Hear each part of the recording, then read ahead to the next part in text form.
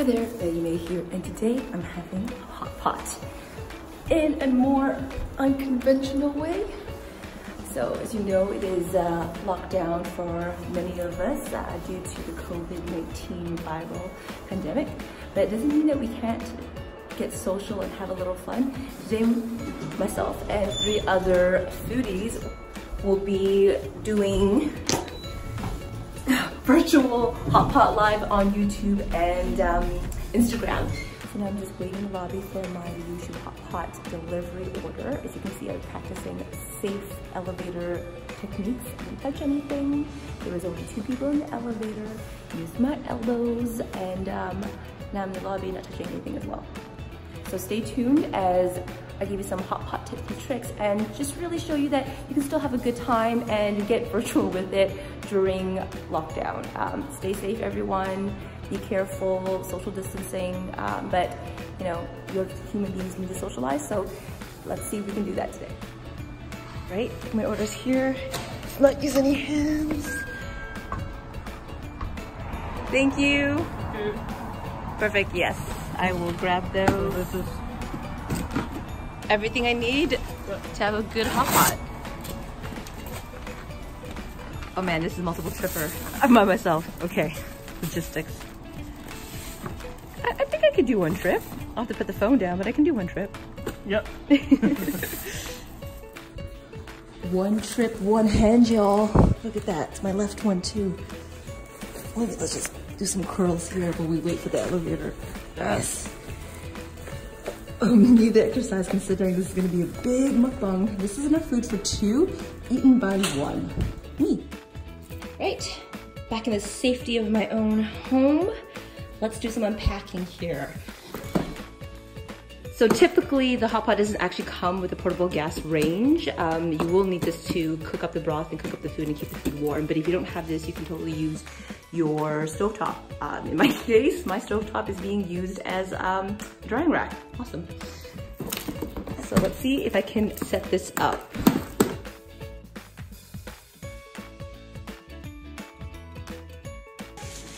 It's fish paste shaped like their logo. It's like a thumbs up. That is fun. A platter of intestines. Got vegetables.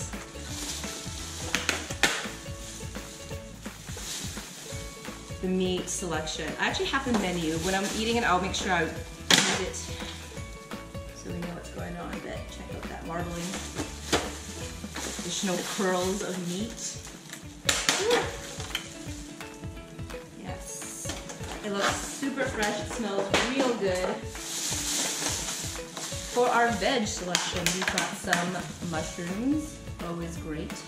Ooh, also got some fried rice. So if you're like me, you need a starch or a, a base. Liuyishou has you covered. They've got side dishes, something to snack on. Because sometimes it takes a while for the hot pot ingredients to come, or you want to just drink and chat with your friends and really long heat experience. They also have like apples and such. And I'm assuming this is the broth. Not a fan of spicy food per se, because I like to taste the ingredients. But they do have a spicy broth and they do have a pork bone broth. I've chosen a mushroom broth. So this is their wild mushroom broth. I love enoki mushrooms. Got some cucumbers in there, dates, goji berries. This looks great. It looks spicy, but it's actually the tomato, so it's mild in flavor. So both of them will go into my split pot. Another big thing about hot pot is that um, if you take too long to set up and the food or the broth gets cold, it's just as easy as just heating it up again in your uh, confection plate.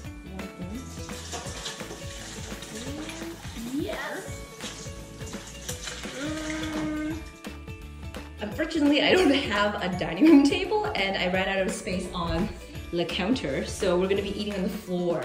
I think it's gonna add a certain feel to things, so I'm quite excited. Get this lit, literally.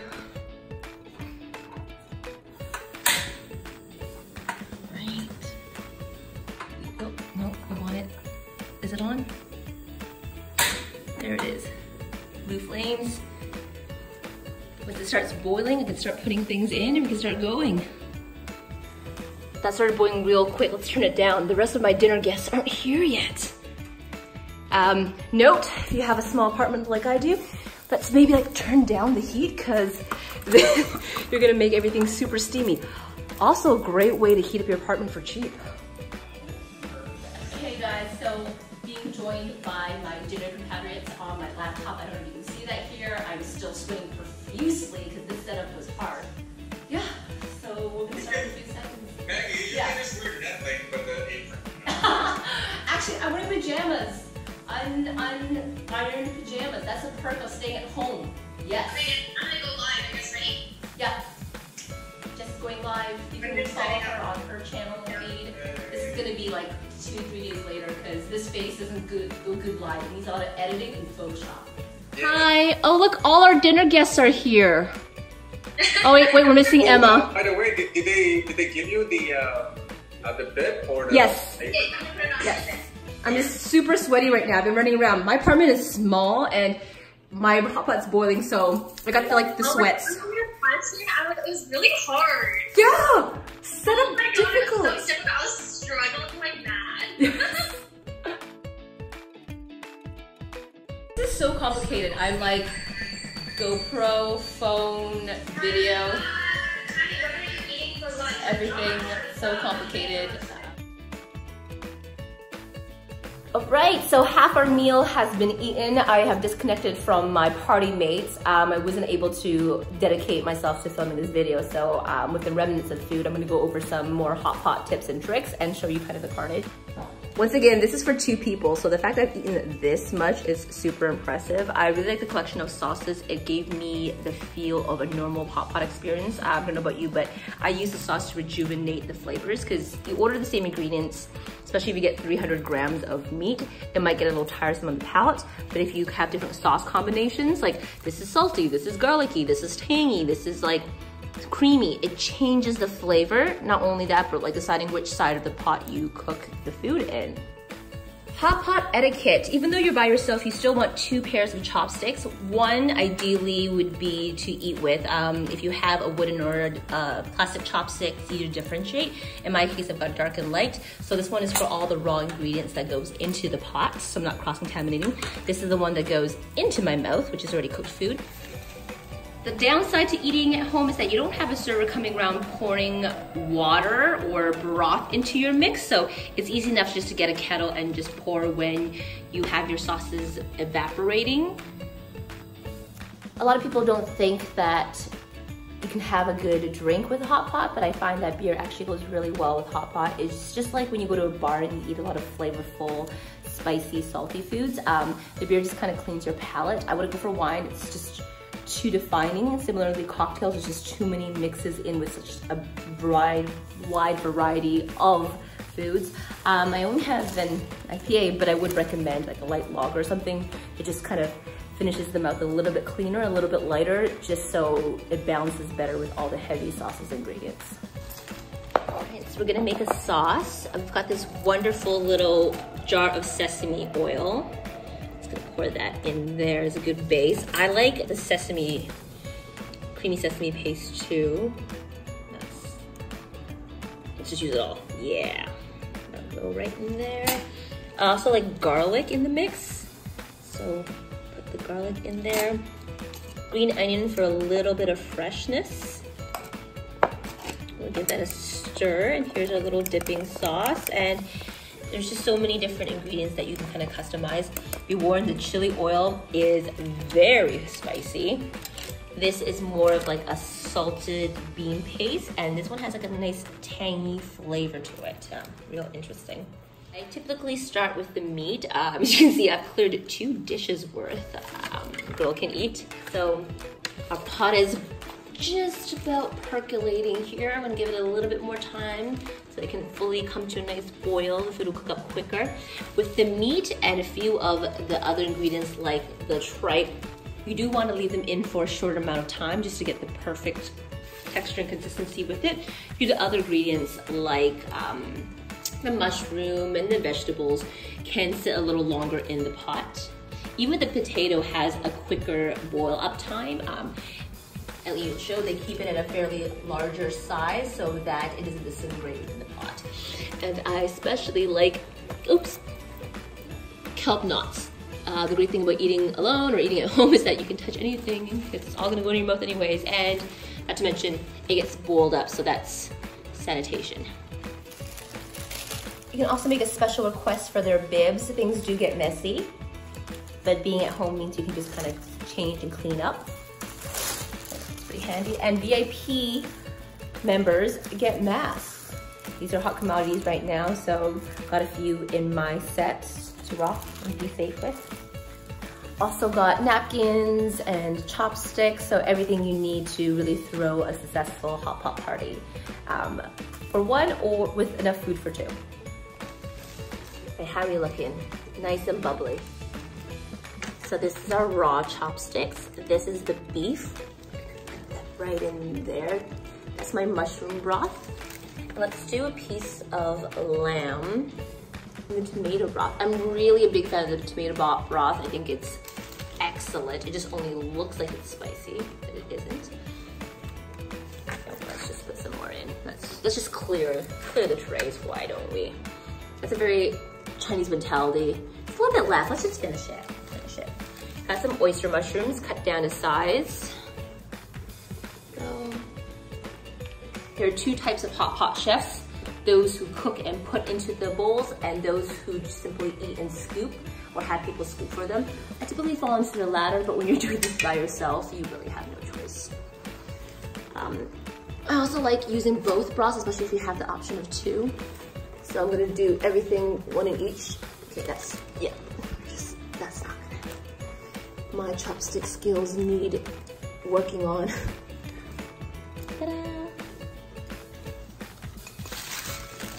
This is their shrimp paste. So what you do is you use a spoon, you get a glob. Um, it's recommended that you kind of curl it into a ball. Essentially what you're doing is you're making your own um, balls. So that just goes in there. I'm just doing this for myself, so I'm less picky, so I'm not gonna make it into a perfect round. It's just gonna glob right in. Not typical, but they've also kindly included some edamame beans and some fruit and the fried rice for myself. Just a little sides. The beans are going really well with Madeo today. The fried rice, and nice base for all the meats. And a little bit of dessert and a palate refresher after once I'm done with this. Admittedly, I'm not a fan of vegetables, um, so I'm not gonna eat it. It's just the texture of it, it's just it's not appealing to me, so pardon my lack of greens in this broth. Also gonna put in, this is aorta, so giant heart valve. Me put my a little bit of dust there. Let's try that again. Let's get another piece. There you go. It's my aorta. It's got a nice um, rubbery kind of cartilage texture to it. I am a textural eater, so I do enjoy the way this comes out. And we have tripe another great textural piece. This one you only want to keep in the broth for seven seconds. So I'm actually going to pick it up with the chopsticks I eat from. I'm hoping the, heat of it would sanitize it. Let's just dip it in for seven seconds. One locomotive, two, locomotive three, locomotive four, locomotive five, locomotive six, locomotive seven, locomotive. You want to overcook it or oversaturate it with um, broth. That way you get the intended texture and taste. Into your little plate. Typically, because I'm eating alone, I could have put it just right in my mouth, but let's have a bit of civility, shall we? Now for the taste test. We're gonna dip into the sauce we just created, though you can absolutely have it plain because it's cooked in the mushroom broth, so it have a little bit of flavor. Nice and saucy. Ooh. Mmm. I know if you can hear the rubbery chew of it. Real nice. Maybe put a little bit too much garlic. It's a little bit too bitter, but really great flavor. Okay, looks like the meat's already browned up. This is another one you want to keep an eye on. You don't want to overcook it. Using that wonderful sieve ladle so you're not carrying any extra broth in. Goes into our plate. I'm gonna scoop out all the meat because we don't want it dry. And because I'm eating for myself, um, any of the other ingredients that I accidentally pick up that I don't want to, I want to leave in the broth percolating, I can just dump back in afterwards. Sheet self cleans, right? Time to eat. Go, put the dip in. Mmm. Meat's my favorite part of hot pot. I just feel like you can eat more of it. It almost feels healthier, quote unquote. But I think I need a little bit more punch in the sauce for the meat. So I'm gonna add in this preserved, I wanna say bean or tofu into it, just a little because it is saltier. It'll give me some punch. Also change the color of my sauce a bit. Let's try some lamb with it this time. The lamb is a little fattier than the beef was. Yes, coat that. Mm. That's real nice. Mm. I just use a napkin out of habit, but dining alone and dining at home in the comfort of your own house means you can be as messy as you want. No one's watching. You just use your hands. No judgment here. That egg? Find out. Was that an aorta? An aorta that I didn't, I fished out too long that now has the texture of rubber. Still gonna eat it because we don't waste food. That's real nice. Let's look for our balls now, or rounds. There we go, that's one of our fish paste, and here's another one of them. Well, I don't think the shapes look too bad there. Let's give them a try. Another thing too is that you can take a break from hot pot, walk around, get your second wind and come back and eat more. All you need to do is just boil it up again because all your ingredients are essentially raw. So, super convenient. Just leave this set up, walk around, do something, and then come back and have your second lunch and your first dinner. Oh, hot. But really great texture to that, really great taste. You get a lot of that fishiness that you want from a shrimp paste ball. Excellent. One that I was a little squeamish about and isn't everyone's cup of tea is duck blood. Let's go for a smaller piece. It's a bit of a, a mind thing because it's blood, but it's solid, as you can see. We're gonna put it up here and boil. So you would think that it would just disintegrate into the broth. The reality is that it keeps its shape. And when you eat it, it's almost like gelatin, cartilage. I'll show you in a second.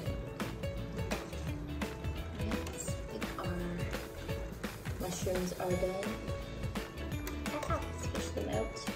I'm glad they're cut down to size. So the mushrooms aren't part of the set. This was just an add-on personally like mushrooms. It's got like the texture of meat, but a bit more balance and some lightness to it. Oh, forgot about our aorta. No. But at least with all our sauces, if you don't like the flavor of something, you can just mask it.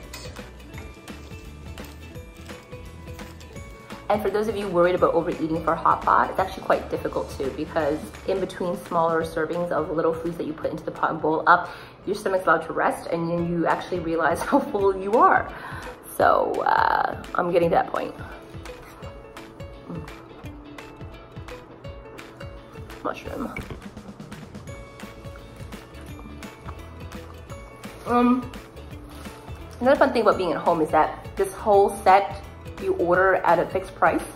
It comes with six ingredients, but since you're at home, if you are craving anything or want to add anything, your fridge is only a few steps away. So you can easily put in eggs, additional vegetables. Um, I got quail eggs, so that would have been a fun one to put in or add in, but honestly, this is a lot of food for one person. Or two, let alone one. Duck blood is done. There it is. I'm surprised it's not just disintegrating like I mentioned earlier and it's, it's holding its shape. Ready to go. Ready to go. I dropped it. Like even my chopsticks, it's not piercing it. It's like jiggly and wiggly. It's got a lot of flavor on its own, but I still like sauce to mask some of it. Or still want the sauce to mask some of it. It's in my Play-Doh miscellaneous. This is real life. Oh, oh, that's weird. Yes, when did you get the food drop It's like gelatin. Jiggly. It's not bad, but I've never had blood solid. The kelp knot. It's got a great texture to it. I love seaweed. Hot. It's tasty. Mm. And the mushrooms that came in my mushroom broth, the enoki. Another great texture. I find that Chinese eating is all about textures. You want a good mix of them. Chewy, spongy, spongy, what else? Sticky. it's all the same, it's too monotonous and you don't enjoy the eating experience because it's about, especially hot pot, it's about getting together and enjoying the actual come up of it. The cooking of it, the scooping of it, the eating, going back for second and third. Mm. Also double dipping, totally acceptable at home or your own little dish. For hot pot for one. Mm. All right, I think I'm gonna end it there. Um, this is definitely a lot of food, enough for another two or three or four meals for myself. Um, I want to thank Liuyishou for this wonderful feast. Um, I'm glad I got to experience it and to share it with my fellow foodies as well as all of you guys. Um, once again, just because you are home in quarantine doesn't mean that you can't enjoy good food and support local businesses in doing so. Um, the fact that there was a setup and there's a cleanup also helps to keep me busy. so, let's just turn this off. Ooh, ooh, and don't forget the broth. Now that the broth is boiled up, all your ingredients have been added to the broth, you've got an excellent flavor for it as well. So make sure that you save that or use that as future instant noodle base or in fact you can add all this and make instant noodles or make a nice um, stock out of it. The possibilities are endless. Now, thanks for watching. I'm glad you're able to join us for a hot pot on this wonderful quarantined um, day. Hope I gave you some inspiration, some fun things to do. Um, thanks for watching. As always, please the subscribe button for some more food. Fueled fun. Until next time, stay safe, be well, drink plenty.